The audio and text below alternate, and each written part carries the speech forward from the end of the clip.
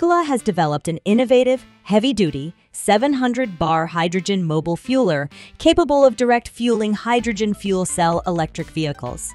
The company's mobile fueling program includes its own and third-party mobile fuelers to provide customers with options for refueling.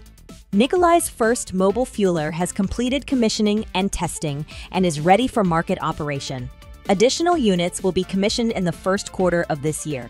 Upon final HVIP approval from the California Air Resources Board, purchasers of the Nikola Tre FC EV may qualify for a state-based incentive valued at up to $288,000 per truck in addition to a federal clean commercial vehicle tax credit worth $40,000 with a range of 500 miles on one fill-up cycle.